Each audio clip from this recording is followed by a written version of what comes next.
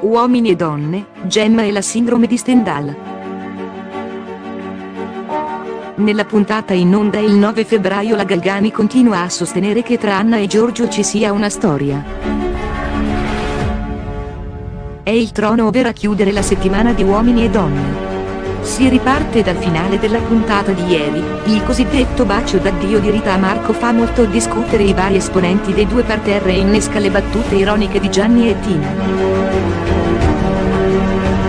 Ben presto però arriva la notizia, che riapre un ben noto dibattito, Anna e Giorgio hanno fatto pace, mentre a Gemma proprio non va giù, che Anna abbia parlato al telefono anche con la mamma di Giorgio, io invece sono rimasta sul cancello di casa. Ma quando è che tirate fuori tutta questa vicenda dall'inizio, Anna è costretta nuovamente alla replica e alla smentita, sono due anni e mezzo di amicizia sincera. Secondo Marco, Gemma soffre della sindrome di Stendhal, detta anche, guarda caso, di Firenze, perché è lì, al cospetto delle meraviglie artistiche della città sulle rive dell'Arno, che si è più volte manifestata, in questo caso l'opera d'arte sarebbe Giorgio? Si prosegue, Gianni ora dà ragione a quest'ultima e dice di comprendere il suo risentimento, però Gemma ha ragione. La mamma di Giorgio non l'ha mai conosciuta. Ida e Riccardo.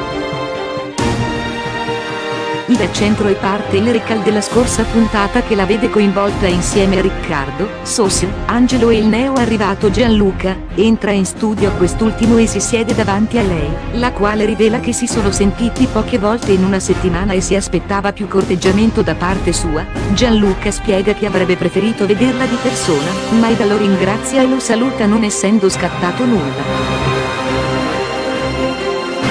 Entra in studio Riccardo, dice che si sono sentiti meno rispetto al solito perché era rimasto male di quanto accaduto la scorsa volta e si è preso qualche giorno per riflettere, oggi decide di volersi fare da parte e per Gianni questo è un atteggiamento strano perché sembrava molto preso e lasciare Ida per non dire cosa abbia fatto nel passato è inspiegabile.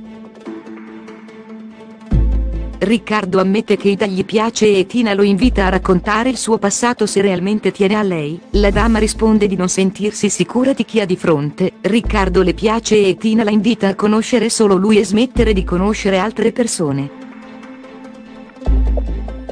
Maria gli chiede se a lui andrebbe bene questa cosa, ma Riccardo ammette che dovrebbe pensarci un po' suscitando la reazione della bionda opinionista. Riccardo vuole sapere anche come sia andata a finire con Angelo. Quest'ultimo risponde di essere andato a fare colazione con lei e di averle parlato e Ida ammette di aver molto apprezzato le sue parole. Riccardo ribadisce di voler pensare se voglia proseguire con Ida.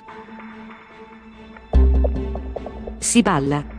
Dopo il ballo, Maria rivela a Adida, che Riccardo si sta sentendo con Donatella e così lei si spiega il motivo del suo tergiversare e precisa che Donatella si stava sentendo anche con Thomas. Sossio e Melania,